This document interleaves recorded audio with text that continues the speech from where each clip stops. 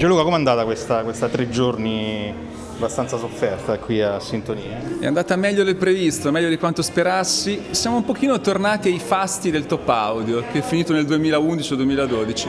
A me è piaciuto molto e lo ripeteremo. Sì, sì, lo ripeteremo. Tanta Senti, gente. Senti, cosa avevi qui? Qua avevo NZ7 JVC laser 8K che poi proprio nel momento in cui è stato ribassato di prezzo da 11.000 a 9.000 euro, poi c'era l'Umagen Radiance Pro, poi c'era il Global Commander 8K e tante cose di contorno importanti diciamo ecco, che fanno un po' il globale dell'impianto e della qualità.